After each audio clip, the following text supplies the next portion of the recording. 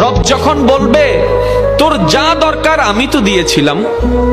তোর থাকার জন্য জমিন দরকার আমি তো দিয়েছিলাম। তোর নিঃশ্বাস নেওয়ার জন্য অক্সিজেন দরকার আমি তো সাপ্লাই দিয়েছিলাম। তোর দেহের ক্ষুদা নিবারণের জন্য খাবার দরকার আমি আল্লাহ তো দিয়েছিলাম। আমার জন্য কি আনছস? আমার জন্য কি এনেছো? আমার জন্য তুমি কি আনলা? যদি এই প্রশ্নটুকু করে হাসরের ময়দানে সেই